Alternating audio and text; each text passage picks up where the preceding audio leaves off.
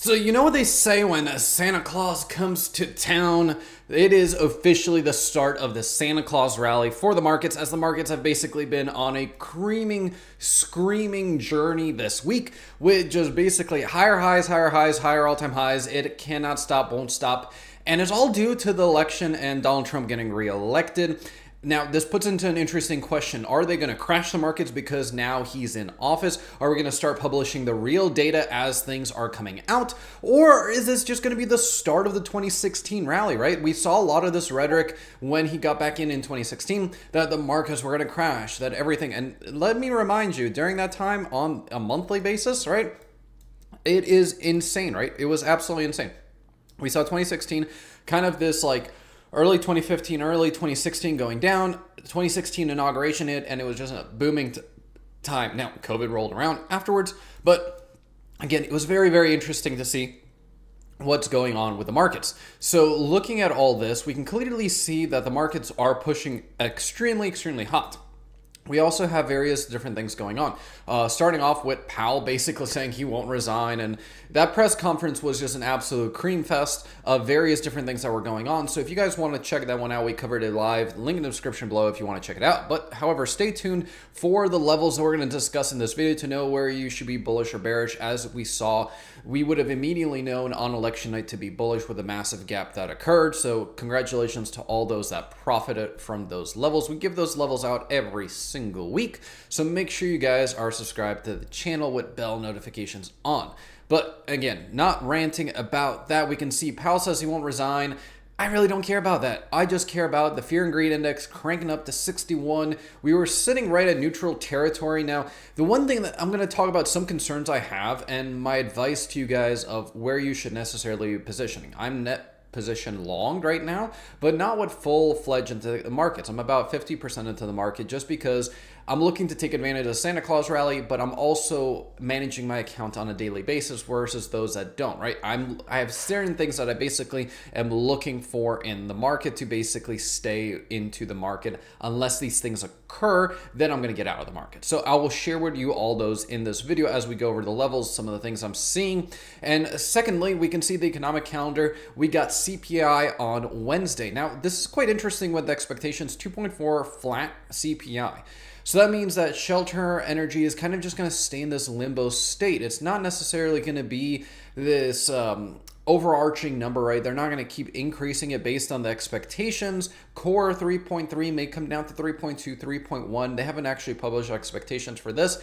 However, the thing is, it's a theory I've had about the Fed wanting to publish bad numbers because Trump's in, but it also makes them look bad and make Jerome Powell's legacy look bad. So it's kind of like I'm debating between these two things. Throw in the comment section what you think. Do you think they're going to actually publish bad numbers to make Trump look bad? They're going to wait till the start of the year so that his economic policies can take effect and the Fed can blame inflation going up because, you know, naturally they've created inflation through the money printer? Or is things just gonna calmly, smoothly, that bump in the road, and it's time to look forward into the forward direction, which is the curiosity of like how Warren Buffett is selling a lot of things, right? As we can see with the expectations for rate cuts they're not looking as bullish as they were, but then again, it's 64%. That's a pretty decent odds with 35%. I think once you get this inflation report this Wednesday, we're going to be seeing what exactly is going on in the markets, what the expectations are that the Fed is going to be greenlit to cut. And also, December is when we get our SEP. So we're going to have to wait almost a month and a half before we get the expectations on the December 18th date. So actually a month and seven days to be exact. The other thing we have to keep an eye on, right, is the reverse repo with the extreme amount of liquidity coming out of the bond market especially as yields were pushing up higher. Now, they've calmed down for a bit, and we can jump over that in just a second over here. We can clearly see the yields kind of stagnating back where we were in June, July, where it was uncertain of the Fed's rate cuts, right? So the Fed said, hey, we're going to cut rates. They cut rates immediately now, and yields are pushing back up that means that they don't believe inflation is going to completely conquer, but that also doesn't mean the flip side that people are going to be bullish on the market, especially with if there's reform coming as their sentiment. Remember, it's they project the future value into the current. So if they're expecting rosier picture in the future, especially with company earnings and various things, and especially with the big tech giants still promoting decent earnings. The question is, is it time to continue to be bullish? Is it time to be more aggressive, right? Where, where do we find ourselves? And now let's dive into the strategy that we're going to employ for the remainder of this year and going into next year. So let's dive into the levels on the S&P first and talk about exactly what happened. So let's just recap real quick what happened on the S&P. As we saw, we rotated above the rotationary point, went for the gap fill and just completely bonkered it out of nowhere. We actually rotated back down off the high, all-time high. So that was pretty bullish, right? Was all bullish signs. There was no bearishness. Everyone's going to be saying, oh, look, it's a topping pattern. The arrow's pointing straight up just because we pushed nearly 5% in one single week doesn't mean that we could not get another one of these this week. That is why I'm looking bullish. That's why I added Meta, Microsoft, Apple to my portfolio doing spreads and stocks just to take advantage of this end of year rally and also above the 90 moving average. Some of these stocks are also lagging behind, similarly, like Apple. Uh, Microsoft were lagging behind because subsequently they were chopping around. So I'm take, trying to take advantage of people saying, hey, what's on discount? What can I buy? What can I sell, right? All these things coming into play. So let's clean up the chart real quick and talk about the levels for this week because it's going to be a banger week. So looking at the S&P, we can clearly see that we got a very large range for the week. The range for the week is approximately 5%. The same way we went up, the same way we can go down, especially with CPI as a catalyst this week. There is a danger of 585 being retraced and retracing all the way down to 576. That would be if CPI came in as a catastrophe and the market reacted appropriately to it. Do I think, based on the historical reactions of the market, that unless we get like a crazy CPI print, do I think we're going to do that? No. Simply, there's not enough catalysts out in the market. Um, Iran, especially with Israel, are calming down, especially with new leadership heading into the White House. So the expectation is the world's going to be a little more calm, collective. Powell really didn't bomb the market, so there's not a lot of threats left on the table. We did talk about the inversion of the yield curve, right, where we basically said, hey, this is looking like it's going to invert again. And we see right here that the inversion of the yield curve looks like it wants to do loop-de-loops, as my partner would say, but it hasn't necessarily done that. We have to keep an eye on it, but we don't need to necessarily play our whole trading strategy against it. We need to be cautious for this thing to start degrading, for some news catalysts to come out. So this could front run it. This could be our early warning sign, but I will keep you guys updated of that. Simply put, right now, I'm looking at the bullish reaction that I did not expect. So this was countervailing to my expectations. So I'm playing the I'm wrong. I need to flip my strategy and go bullish, right? I was saying that now that Trump would get in, that they wouldn't have this reaction. I didn't expect this reaction, so I need to basically buck up to the bar, say I was wrong, and look how I can profit off of this. Simply put, looking at things that are lagging behind, looking to buying things that are lagging behind. Apple and Microsoft were a perfect example of two, two of the bigger tech giants that weren't as pushing as strong as, let's say, Tesla, Netflix, Amazon. They were on a tear. So now is money going to rotate out of those stocks and the, these stocks and is the S&P a excellent buying opportunity? So again, max out your Roth obviously because that is just free money sitting there. Max out your 401k match at the company and then look to put money aside, right? Put money into some of the lagging sectors, look into dividend companies. There's various different things that you can do, right? It is, I'm changing my tune a little bit on the market just because I'm seeing this reaction. I'm seeing what the market is pricing. I'm seeing how the Fed is reacting, right? Everything is just aligning to the central direction that there is a boom time risk on mentality as we can look to Bitcoin, which we'll just get into a second after the NASDAQ. And speaking of the NASDAQ, let's quickly jump over to it after going after these levels. Again, 559.64 is going to be the level we need to watch for the S&P. And then subsequently, these rotationary points of gap fill at 593 and 585. Do I think 585 is going to come into play? No. What I'd be doing is if we start breaking this, I'd be looking to sell calls on assets just to cover any downside potential and then subsequently implied volatility contraction. And then here for 585, that breaks, then we look to bearish positions to take advantage of the short-term bearishness, which is a gap fill to the 50-day moving average, but that would be a pretty massive gap fill. I will keep you updated in the video of what happens, but let's first break 593 before we start throwing our bear hats on, right, saying the world's going to end. And then 599.64, let's see where things are going to be going. So let's jump over to the NASDAQ and we can see what we got on deck there. So with the Nasdaq, it's actually even a scarier graph, right? The Nasdaq S&P was five percent, the Nasdaq's over six percent range for the week. So once you had this big, massive range, we do expect a contraction in the range. I don't expect massive moves in the market which are great for theta decay, right? Selling options and all these things. That's why I'm taking advantage of that. But subsequently, I could be completely wrong. I would, like I was wrong about last week, where the market could decide to do another Santa Claus rally November, December. It is the most bullish time of the year. This is where people are basically piling into the market, taking advantage of like tax benefits and all this, and trying to deduct some of their income from various things. So again, 514.92 is going to be the upper region for the NASDAQ. Again, 483.75 like last week is going to be the bottoming area, but we have to break a lot of structure to get down there. Again, I don't believe there's a catalyst unless something magically drops out of the sky, like a bank failure or something of that nature, that we get that downward potential. First, 508.34 would be a rotation or a buy point. A first gap fill. We could fill this middle gap to 506, right? Slight downside potential earlier in the week, then head banger into CPI. I don't think CPI is going to be as big of a, as a gap and go just because subsequently we are going to leave a lot of gaps on chart, which is not unheard of, right? We've left crazy gaps before and never filled these. So subsequently, because the, this bottom gap hasn't been filled this week, I don't think we're going to get that. The lowest we're going to get is 500 on the NASDAQ, also because there was a large accumulation phase right here. So now we're going through an expansionary phase. What would I be doing? I'd be slowly buying any dips that occur in the market 508.34 uh, 499.60 right that that's where i'd be looking to buy the market and subsequently just look at the buy side but cautious against some of the things that are going on in the market. And simply to know if you need to be cautious against the market, I'm going to give you guys a simple thing. So I use LuxAlgo. If I don't see on the smart money flow any degradation signs, which is monthly, I'm looking for this white dot to appear on the monthly. That is where I'm going to basically say, okay, it's time to get out. Now, what's cause for concern is this exit signal with this buy signal back in beginning of September of 23, which is where we had this 30% rally in the NASDAQ, which these crazy returns traditionally don't happen year over year, but then again, it could be various different things. One of the things I don't like is volume decreasing coming out of the pandemic. So we're seeing less and less people buying in.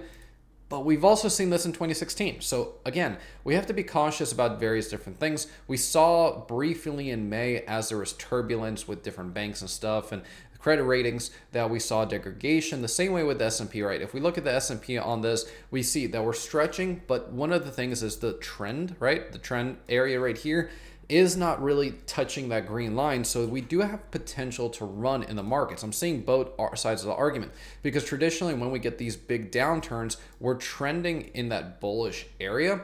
And then also then we get the signal, right? So we've been trending extremely long for that bullish area. And subsequently after that, we had basically 181% rally. So again, seeing that same thing, and that's when we start touching to, so another 186% rally, that'll be a mind blowing four years in the market. So there's evidence that between now and Q2, I'm basically going to be fully into the market. I'm looking to see if anything breaks. Why Q2? So going back to the yield curve is where I get this thesis from basically 12 months from August would be August of next year. I think something would already have to have signs of breaking before we just like we don't break like this, right? We don't just break instantly uh, down to the market, and the yield curve would subsequently have to start trending down into March. So that's where I'm going to be looking. Okay, let's see how November, December, January, February, right? The Fed's going to get a five months of inflation data if there's no degradation there. Then we're going to have five job reports, right? So we can assess this on a monthly to monthly basis of knowing what's going on. And that's why someone that's younger like me, I can take more of a risk. Of people that are older, closer to retirement, I would argue that maybe only 50% into the market with 50% cash reserves because even if you get a 25% haircut on that 50 that still remains like 75% of your portfolio is intact from initial um, investment right? And that 25% is only going to count like a, slight drawdown where you can dollar cost average and regain that relatively quickly in a year or two Again, unless we have a lost decade. So there, there's things we have to look out for. I think with the style of Trump economics that we're going to get, I don't see necessarily that downside potential super happening. The reason I spent the last two years talking about how the market is in a very bad place is because the debt ceiling, the debt negotiations, and all this, we have to keep an eye on some of these bad things that can happen. Again, reverse repo, the Fed, the non-soft landing, the loss of jobs recently, right? There, there's still things that we have to be cautious in the economy, but the stock market isn't necessarily reacting to it. Now, that could be a bubble, that could just be how things are going forward. So we have to keep one foot in the door of caution, one foot in the door of exploration until these things resolve themselves. And simply we can do that by looking at the levels, knowing if we break above 514, put more money into the market, right? That's bullish, bullish, and bullish. As every subsequent weekly high or high, we go more bullish into the market. We can see on the Russell, right? Russell having an absolute banger week. And actually, let's just jump over to the IWM, which, again, this is where things get interesting, right? IWM has a massive gap and also subsequently is trying to tackle new all-time highs. We still got that 40% rally that Tom Lee said. If he's right, that would mean the Nasdaq would have to rally close to 100%.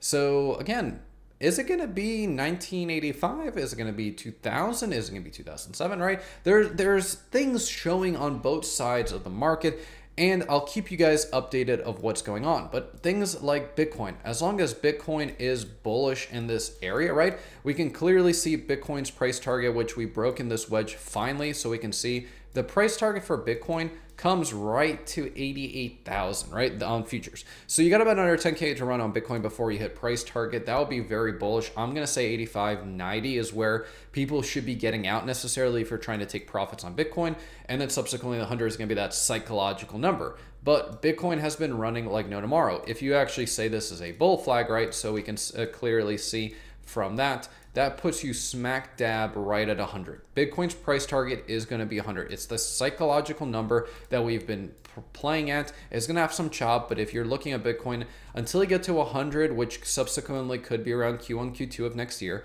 that's where you have to play bullish. Again, why that 25 50% structure of the portfolio that I'm recommending and why I'm playing it and looking for these signs. I have a checklist, and you guys can know what that checklist is in the Discord server link description below if you guys want to join or following us on X. We're going to be giving that out for free so you guys know exactly what to look for in the markets and can pick our brain and evolve this checklist as we grow as a community. So if you guys want to know when those real-time trades are occurring, I post everything in the Discord along with my buddy. So you throw everything there. So make sure you guys are joined there. It's completely free, but soon to be behind a paywall. So we're going to be talking about more of that in the coming months.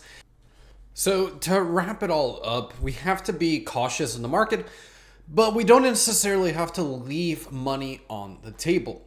We'll keep you guys updated of everything that's going on as things evolve. And Fatal's going to give you the biggest winners and losers now, and then we'll be back for the last little bit and see you guys in just a second. So now that the election is over and Donald Trump has won, one of the most friendliest presidents for business, we can see that this is translating to, uh, yeah, 5% up on the five day when it comes to the S&P 500. And on the one day, it was up 0.38%. Took a breather here on Friday. Looking at the next upcoming earnings for the week, we can see that there's still a lot of earnings. On Monday, we got companies like Zeta or Zeta, I don't, know how to say that, Aramark, Luminar, Monday, uh, Live Nation, and a lot more. Then on Tuesday, we got Shopify. That was going to be a, a big one. Home Depot, though, is going to be the biggest one on Tuesday, as well as Occidental Petroleum as well. And then on Wednesday, we got Hut 8 Mining, Cisco, uh, CyberArk, and um, a couple other companies here that I'm not really too sure. I get Bitcoin Depot, I guess, maybe. I mean, Bitcoin has been soaring ever since Trump won. Thursday, we got Disney, Applied Materials, Talen Energy, JD, not, not JD Vance, but the company JD, and a lot more. And on Friday, we got Alibaba. Okay, so we got two big Chinese companies here. It'll be interesting to see how they react based off of the Trump win. Now, when taking a look at this week's performance when it comes to the S&P 500, is that surprising? This is all in the green. Wow, guys, this is all in the green. Again, you know, I'm still sticking with the fact that I believe that things will fall when Trump does get into office because I think they'll start revealing all numbers. But so far, this is looking really good for business right now. Wow. In the technology sector, we can see that the worst performer, it is none other than the company Akamai Technologies losing 11.14%. And the best performer in the whole entire sector is in the same, it's the same industry. It is Palantir, 39.29% on the week. Absolutely massive. Out of all the companies that were hyped up during the 2020 and 2021 uh, cycle, Palantir was one of the best ones, at least was one of the ones with the best fundamentals, and definitely translates to this. Palantir, I, am gonna say right here, Palantir is was and is the Amazon of the massive hype from 2020 and 2021. So, guys are invested in that one. Congratulations, you guys are making bank right now.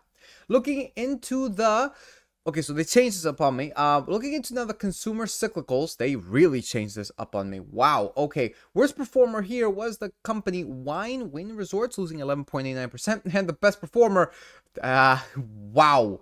Um, it's pretty easy to tell, right? It's pretty easy to tell. It is, of course, Tesla, gaining 29.01%. Absolutely massive.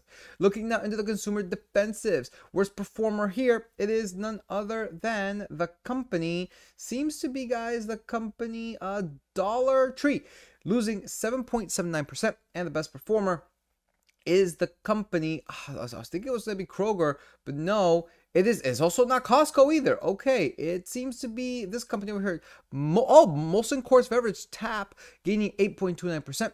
But also take a look at Costco. Costco's up. You see that? You guys see that line on Costco? What? It's just straight up almost a thousand dollars. We're probably going to see a stock split once this thing hits a thousand dollars, most likely. Looking now into the banks, we can see that this is just sea of green once again. There's only three companies in the whole thing that lost. We got the companies that lost. Well, the first one being actually, I guess the one that lost the least was AIG losing 0.18%. Then MarketAxess Holdings losing 4.43%. And the worst one was CBOE, I don't know how to say this, CBOE Global Markets losing 6.29%. And the best performer, it's going to take me a little bit to find it, guys. Just give me one second while I find the company that performed the best over here. Um, yeah, seems to be seems to be the company Goldman Sachs gaining an astounding 13.46. But I mean, you got Morgan Stanley 10.85. these things are insane right now. Look at look at this. Capital One 13. Actually, no, sorry. The best performer was not that. Oh my goodness. The best performer was actually Discover Financials 15.76, Synchrony Financial 15.4 uh, okay, this is just insane.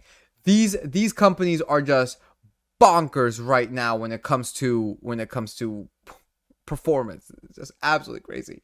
Oh my goodness. All right, moving on. We could see into now the communications sector. Again, they did change this up a bit. Worst performer was Verizon, losing 2.13%. And that was it. Everything else gained a significant, significant amount. We can see that the best performer overall, it is the company Warner Bros. Discovery gaining 11.54%. Into now the healthcare sector.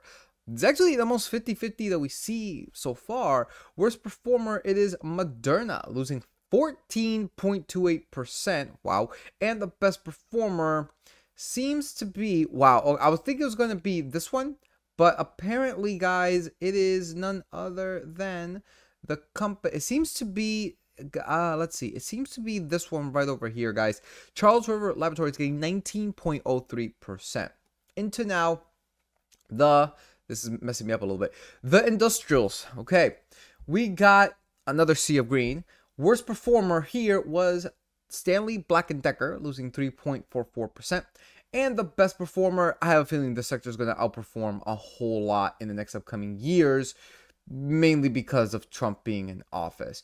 Oh my goodness, Axon 40, it's that one, it's that one. Axon 41.65%. I don't even know what this company does. Guys, I have a feeling that this sector is going to skyrocket, skyrocket in the next upcoming years. This is absolutely crazy. 41.65%. And another real estate sector, worst performer was American Tower, uh, losing 4.48%. And the best performer, it is none other than the company seems to be the one that gained 10%, which is this one, Essex Property Trust, gaining 10%. But guys, realty income is down $57 to $57.51. So yeah, maybe time to pick up a few more around this time. Uh, sub sub 60, uh, you know, yeah, okay, it's not sub 50, but sub 60 is so really, really decent. Into now the energy sector. I don't know. This is one that I'm 50 50 on because drill baby drill happens. Oil's going to crash, right? Because there's going to be so much supply. Oil, oil might crash, but at the same time, people might take a lot more expensive trips, do all that kind of stuff. So I don't know. I don't know if this one's going to skyrocket or not. We only had one loser here, and that was APA Corporation losing 5.72%. And the best performer, oh my goodness, this is just all over. Guys, these numbers are insane right now. Absolutely bonkers. Seems to be none other than this company over here. Targa Resources gaining 16.34%. But I mean, you got, look at this. You got oil, oil and gas midstream is bonkers right now. You got one ONEOK, one okay, ticker of OKE, 14.78, Kinder Morgan, 11.17, and Williams Co's 9.2. Wow. I, I, am, I am, Baker Hughes, 13.65. Bonkers. Absolutely bonkers. Into another utilities. There's actually a lot of red here. Wow, it's actually kind of surprising. Worst performer, it is the company. Uh, is it? Yes, it is AES losing 7.55%, but also CEG losing 7.26%. And the best performer, it is none other than the company Vistra, gaining 18.73%. And lastly, basic materials. We have the worst performer here, Celanese, Celanese, 32, losing 32.06%. And the best performer, it is none other than, uh, seems to be the company Nucor Corp, gaining Actually, sorry, no, guys, sorry. Is is Steel Dynamics, uh, STLD gaining 11.15%. So it's only been a week. Actually, it hasn't been a week yet. It's been less than a week since Trump has won the election, not even president elect, won the election. Granted, we still have a lot of House seats, and I believe the Senate is almost a foregone conclusion there. But there's still, I think, like two seats for the Republican to take, for the Republicans to completely sweep everything. But we'll see what happens. If they do and they're in lockstep in the next two years before the before the the midterms yeah i i foresee a lot i i foresee a lot of good stuff. I mean you already got wars ending or like like people are the the world is already becoming like okay he's in office he's president elect okay we're gonna simmer stuff down now. So all of that's great for the markets. Less uncertainty, less wars, uh, drill, baby, drill. So we'll see what happens. We shall see what happens. But guys, that pretty much does it for this segment. With that said, take it away, Mike. So today we're not going to have the debate, guys. Hope you had a wonderful. Thank you. So today, guys, we're not going to actually have the debate. Uh, we're going to be closing with keep you guys updated on the CPI. You'll have weekly updates on the market as always. Again, who's going to be right? Is Trump going to lead us into basically euphoria? They're going to crash the market. Throw your comments down below. We also have our latest video queued up over here about Powell, so make sure you guys check that one out. And then again, thank you all so much for watching, and I'll see you in the next one.